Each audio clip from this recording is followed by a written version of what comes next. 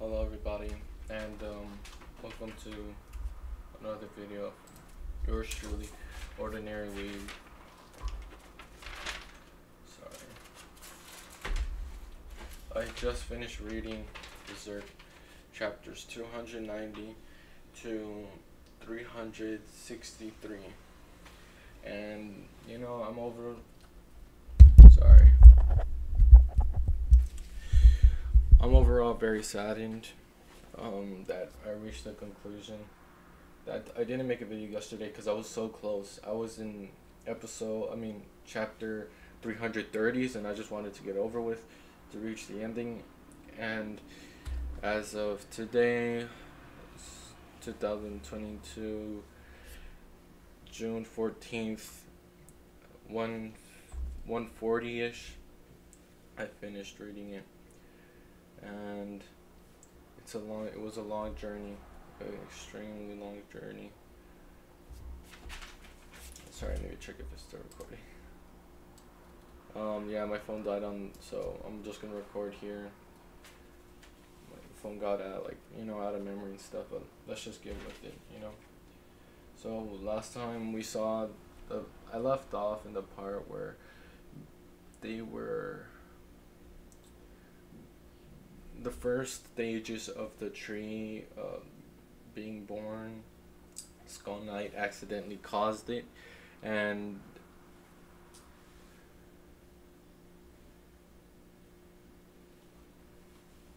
sorry.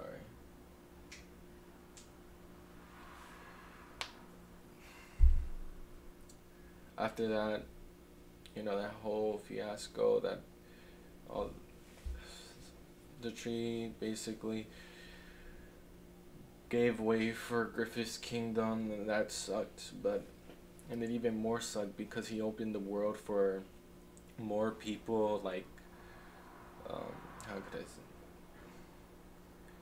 No, he made it difficult for people to live outside of the kingdom. So he was basically forcing them to be in his um, kingdom. His Falconia is what they called it, and during that time, you know, a lot of people were being killed and slaughtered outside from the monsters and stuff like that, you know.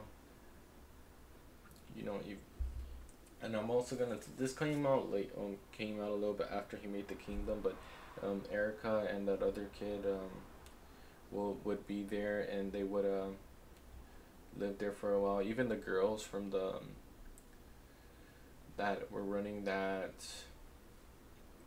kind of prostitution um, stable over there and the I don't even know like poor air I don't know but those girls were there. And you know it's nice to see them. They were helping out our our buddies too. Even that old one dude that got speed up from the uh, what were they called? Oh yeah elephant fishies. Um, the guy that that controlled them he even helped them out and you know they escape but after that we don't see much after that. That's like basically we don't get confirmation of much after that. So i'm a little bit saddened that i have a lot of questions about that but i'll probably never get, never get answers to them griffith and that girl are still very much annoying. The, um, i'm not talking about the princess i'm talking about that little girl that has a the medium. I still hate her. Um, not as much as Griffith. Griffith way more, but still. Um, then we also got to see that the ship with the pirates met with um, uh, with guts, and you know they beat them up. They came back as monsters. We beat them up again. Then we reached the island for repairs and the episodes. Um, oh sorry. Um, and then during that time, Farnese became like better at using her powers, so that was really cool to see. And then we even get to see later on in the when we reach the Elfhelm that she's really advanced compared to the other people there, and she's a quick learner, so that that's awesome too. Um, and the fiance has a reputation for being like uh, of of uh, Farnese, the far the I forgot his name, but you know he has a reputation for being a a good, uh, basically a fighter at sea, you know. So that was pretty cool. You know, he, he kind of seems worthy of being kind of with Farnese a little bit. That's what I got from that. Um, and then we got to the island and it, we see Isma and the sea god. The first chapters with Isma are so funny. They were so hilarious because of um, Ishidoro. I forgot his name, but you know the little boy and her interacting with Isma is just the funniest thing ever.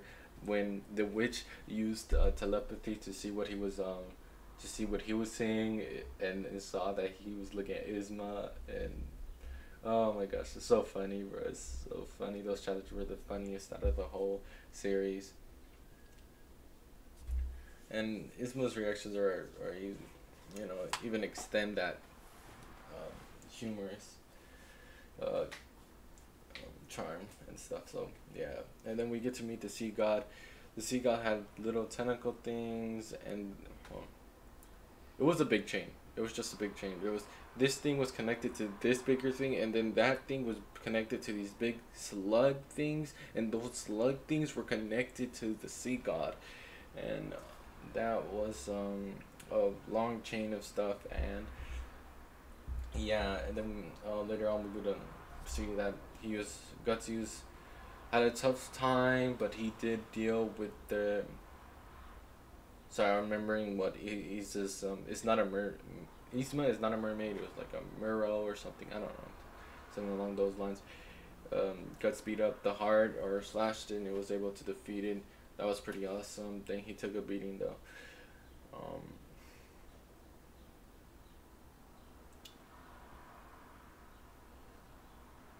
but yeah, that whole fight was crazy. Even we even see the pirate ship like come alive and go up the island and stuff. That was pretty wild. But yeah, everything was defeated, and that was it. It was um. It wasn't the best arc, but I mean, it was pretty interesting. We got to meet Isma, so and she was like rose the ranks really um, fast in my in my opinion of the best characters in in this um, series. I don't think she's top 10 yet. Probably top 15, but not top 10. Uh, what else would I like to say? They finally, after that, they they finally reached um, Elfhelm. Like, these are my notes for today, way longer. And yeah. I mean, I went through like almost, like over 50 shots. Yeah, I went like over through almost I went through 73 chapters since the last time I made a video. That's why I didn't record a video yesterday, but yeah. Um, what else here? Yeah, so they reach Elfhelm. They they were stopped by the stones, but you know they got through it because of the elves. That was chill. And they got to deal with those um, scarecrows, and then that one big red thing or whatever that forbidden thing that they were talking. Oh, I don't know what it's called, but you know, it's that thing made out of wood and fire and stuff. And then we got to meet Morda.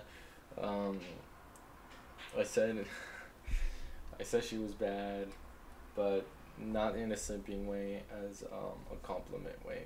Um, I don't know. I'm not gonna get into that, but yeah. Um, all my I, I if you go to my um, Manga Kata, like up here, this website right here. Manga Katana. I if you went to if you go to the chapters of uh, Berserk, I I laid out a a comment for every chapter if you want to see what I um pretty much what I was thinking through while reading through it. So, yeah and um, yeah, then we get to meet the elf leader or elf king, but it was actually a girl, but whatever. And then we got Farnese and the witch went up in there and in Casca's memory, and there was a version of guts. That version of guts of that of him being a dog was so cool. It was like what? Like he even used the berserker as a dog, and even his tail was um was the the Dragon Slayer. That was awesome. That that um reference was like so so awesome. and then we also they the fetus was like in like the main piece that was kind of hidden away. Mm, That kind of gave connection to like why the the other part of Casca wanted to to like was so attached to it and stuff. Talking about that, that last chapter, we see that one kid that was with us for a long time. I was wondering if that kid was, you know, related to that fetus, but we're probably never gonna get an answer or verification for that. Um, but yeah, I mean, there's people talking about that. The they're the authors, the people that the author worked with are gonna like carry it carry it on in some way, but I, I don't. I think that's very far fetched, and I I don't see that happening. There's just too little of a chance. I haven't seen. I haven't heard of a of a manga um going after the author dies. You know, so I don't know. It's it's far fetched, and I don't think we're gonna answer. But yeah, that I, I wonder if that kid was somewhere related to that fetus that Casca had. He, the magical one, you know, the one that yeah, you already know, the one that disappeared and kept on appearing, and um, we got Katsu memory. She meets Guts. Oh, I, I accidentally drive my keyboard. Um, yeah, uh, Casca was scared to see Guts because it reminded her of the things that she still hides away, and we could see that by the curse that her heart had, and yeah, that that was pretty. It's pretty sad to see that she can't even see Guts, only hear him. And then we get transitioned back to Griffith's story. I hated. Oh my gosh, uh, those chapters are so boring, bro. I didn't want to read them. It was so. It was absolutely horrible. I, I had to go between playing a game and then reading back here because I needed a break from from viewing it. It was so boring. They talked about policies and stuff of the kingdom. um, bore, bore. But yeah, um, we got through that. You know, the branches were could be used by the medium and Griffiths to go to like different areas of the world basically because of that tree is I guess that powerful. So that was pretty crazy. Um, we got backstory on the armor. The god's hands are not permanent. That was crazy to me. I thought the god hands could not be replaced, but we see that there was other people before Griffith, and the other god hands. The only one remained was that one main um, god hand. The other ones were changed, so that's pretty crazy to me. It makes me, it makes me believe there's a chance, you know, that we will that Griffith could be like removed and stuff. Even um, Guts could take his place, and you know, and get revenge. That that was pretty awesome to me, that there was a chance. But now I don't, I don't. I'm just sad that I'm just sad that there's not a conclusion like that. Um, he gave me hope, and then yeah, and